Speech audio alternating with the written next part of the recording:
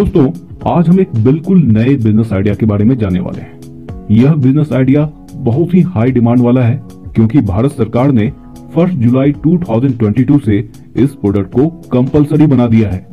यही वजह है कि यह प्रोडक्ट आने वाले समय में हर जगह आपको दिखेगा और इस प्रोडक्ट का बिज़नेस बहुत ही प्रॉफिटेबल होने वाला है। और यही कारण है कि आपको इस बिज़नेस के बारे में ज़रूर जानना चाहिए।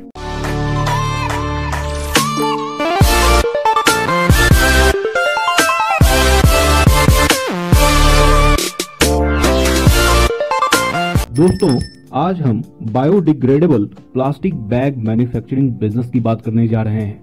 दोस्तों, आप सबने न्यूज़ में सुना होगा कि फ़र्स्ट जुलाई से सिंगल यूजेस प्लास्टिक बैग को बैन कर दिया गया है पूरे देश भर में। इसका मतलब यह है कि इसके जगह पे अब दूसरी तरह की बैग्स आएँगे। और भारत सरकार ने बायोडिग्रेडेबल प्लास्टिक बैग को अलाउ किया है पूरे देश भर में। यह बैग पर्यावरण के लिए नुकसानदायक नहीं है क्योंकि यह इजिली डिस्पोजेबल हो जाता है। इसीलिए दोस्तों, इस प्रोडक्ट की मैन्युफैक्चरिंग बिज़नेस करना आप सबके लिए काफ़ी फ़ायदेमंद होगा। और इस बिज़नेस को स्टार्ट करने के लिए गवर्नमेंट बहुत तरह की सहायता राशि भी दे रही है, जिसको कि हम इस वीडियो में डिटेल में जानेंगे। तो दोस्तों, आइए जानते हैं कि बायोडिग्रेडेबल प्लास्टिक बैग मैन्युफैक्चरिंग का बिज़नेस हम कैसे स्टार्ट कर सकते हैं। इसमें किन किन प्रकार की रॉ मटेरियल्स की ज़रूरत पड़ती है, किन किन प्रकार की मशीनों की ज़रूरत पड़ेगी, इसमें आपका प्रॉफिट मार्जिन क्या होगा, आपकी कमाई कितनी होगी और आपको इसकी मार्केटिंग कैसे करनी है। तो चलिए शुरू करते हैं। दोस्तों बायोडिग्रेडेबल प्लास्टिक बैग में जो रॉ मटेरियल यूज़ होता है, वह कोई प्लास्टिक नहीं होता है। बल्कि इसमें मक्के, साबुदाने, आलू, इन सब के स्टार्च का यूज़ होता है। यही वजह है कि यह पर्यावरण के लिए नुकसानदायक नहीं है। और अगर कोई जानवर इसे खा भी ले तो उसको कोई नुकसान नहीं होता है। इसके स्टार्च से दाने बनाए जाते हैं, जो बिल्कुल प्लास्टिक के दाने जैसे ही दिखते हैं। और उनके ज़रिए प्लास्टिक का फ़िल्म बनाया जाता है, प्लास्टिक का रोल बनाया जाता है। आप चाहें तो इन प्रोसेस के ज़रिए अपने इन हाउस भी प्लास्टिक रोल बना सकते हैं। या फिर स्टार्टिंग में मेरा सुझाव यह है कि आप मार्केट से बना बनाया प्लास्टिक रोल ले लें, क्योंकि यह इजीली अवेलेबल है। प्लास्टिक रोल लेने के बाद आपको इन प्लास्टिक रोल को ऑटोमेटिक बैग मेकिंग मशीन में लगाना होता है। और उसके बाद आपको कुछ नहीं करना है। आपको बस यह मशीन स्टार्ट कर देनी है और यह मशीन ऑटोमेटिकली आपको बैग बनाकर देती है। यह बैग अलग अलग साइज़ के हो सकते हैं अलग अलग डिज़ाइन के हो सकते हैं। अगर आपको इसके ऊपर प्रिंटिंग करनी है तो वह भी आपको इसी मशीन से हो सकता है। लेकिन इस प्रकार की मशीन की कॉस्ट थोड़ी बढ़ जाती है। इससे पहले कि हम इसकी प्राइस की बात करें, पहले हम इसकी कैपेसिटी की बात करते हैं।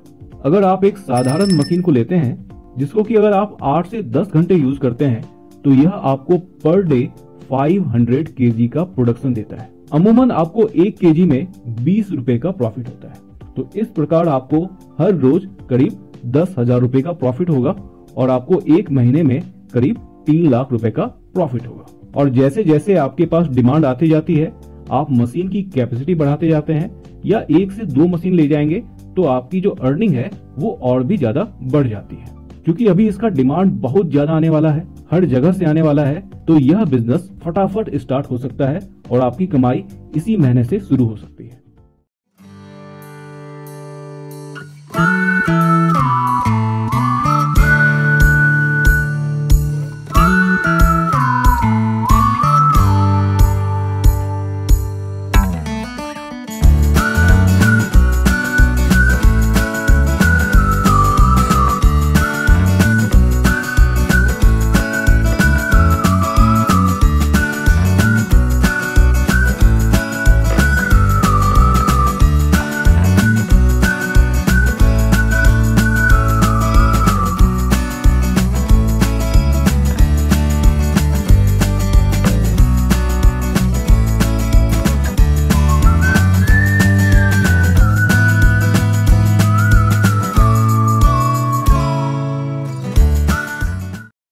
अमूमन के जी बायोडिग्रेडेबल प्लास्टिक बैग को बनाने का जो कॉस्ट आता है, वह करीब 220 रुपए से 225 रुपए पर केजी आता है। वहीं आप इसको जो सेल करते हैं, वह करीब 240 रुपए से 250 रुपए पर केजी में सेल होता है। बायोडिग्रेडेबल प्लास्टिक बैग मेकिंग की जो मशीन आती है, ऑटोमेटिक वाली, वह करीब छह लाख रुपए से शुरू होती है। जैसे जैसे मशीन की कैपेसिटी बढ़ती जाती है, उसकी गुणवत्ता बढ़ती जाती है, इसकी प्राइस भी बढ़ती जाती है। इस बिज़नेस को शुरू करने के लिए मिनिमम जो एरिया की रिक्वायरमेंट है, वह है करीब हज़ार स्क्वायर फीट और इसमें आपको करीब दो से तीन लोग लगेंगे एक मशीन के ऊपर। क्योंकि यह प्रोजेक्ट गवर्नमेंट से जुड़ा हुआ है और गवर्नमेंट चाहती है कि यह प्रोडक्ट जल्दी से जल्दी मार्केट में आए। इसी वजह से गवर्नमेंट इसमें बहुत तरह की ग्रांट आपको दे रही है। जैसे कि P M E G P प्रधानमंत्री एम्प्लॉयमेंट जनरेशन प्रोग्राम, इसके तहत आपको इजीली लोन मिल सकता है। आपको प्रधानमंत्री मुद्रा लोन के ज़रिए भी इस प्रोजेक्ट को स्टार्ट करने के लिए लोन मिल सकता है। अगर हम इसमें यूज़ होने वाले लाइसेंस की बात करें तो यहाँ पर आपको जीएसटी चाहिए होगा। आपको उद्यम सर्टिफिकेट की ज़रूरत पड़ेगी। आपको सीपीसीबी यानी कि सेंट्रल पॉल्यूशन कंट्रोल बोर्ड का भी सर्टिफिकेट चाहिए होगा और सी पीईटी की भी सर्टिफिकेट की ज़रूरत पड़ेगी। आप किसी भी सीए के पास जाके यह सारा सर्टिफिकेट बनवा सकते हैं। अगर हम इसकी सेल्स और मार्केटिंग की बात करें तो दोस्तों, यह एक ऐसा प्रोडक्ट है जिसकी मार्केट में बहुत ही ज़्यादा डिमांड है और अचानक सप्लाई रुक जाने के कारण हर जगह इसकी डिमांड और ज़्यादा बढ़ जाएगी। तो आप जितनी जल्दी इस बिज़नेस को स्टार्ट करेंगे, आपका बिज़नेस उतनी जल्दी चल पड़ेगा। आपको बस हर शॉपकीपर हर दुकानदार के पास जाना है। उनको बताना है कि आपके पास यह बायोडिग्रेडेबल प्लास्टिक बैग है। वह अपने आप आपसे आपका बैग खरीदना शुरू कर देंगे। उसके साथ साथ आप इसे होलसेल में भी बेचें। दोस्तों, अगर इस वीडियो के रिलेटेड आपके दिमाग में कोई भी डाउट है, कोई भी शंका है तो नीचे कमेंट करके पूछें। मुझे बहुत ही ज़्यादा खुशी होगी आपके सवालों का जवाब देकर। दोस्तों, नए बिज़नेस आइडिया पे मेरे और भी वीडियोस हैं, जिसका लिंक मैंने नीचे डिस्क्रिप्शन और ऊपर आई बटन में दे रखा है। इस वीडियो को देखने के बाद आप चाहें तो उसे भी देख सकते हैं। अगर आपको ये वीडियो अच्छी लगी तो वीडियो को लाइक ज़रूर करें और चैनल को सब्सक्राइब भी करें, ताकि आपको हमारी सारी वीडियो टाइम पे मिलती रहे। मिलते हैं फिर अपने अगले वीडियो में। तब तक के लिए बाय बाय